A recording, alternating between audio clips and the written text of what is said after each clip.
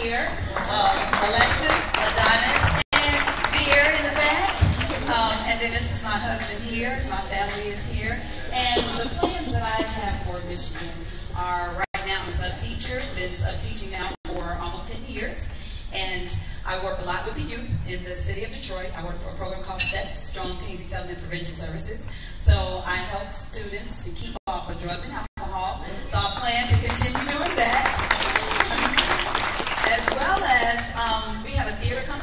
national theatrical productions. So we plan on touching people in the aspect of theater and entertainment and so forth, and just doing positive things within the community so that people have an outlet to express themselves and pursue their dreams. Because I'm all for pursuing your dreams and making those dreams your career and your reality. So again, thank